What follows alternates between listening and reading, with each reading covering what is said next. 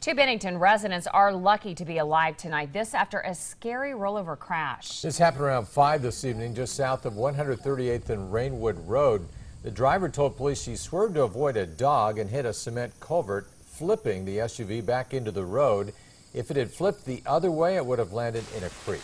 Thankfully, both passengers walked away from the wreck without any serious injuries.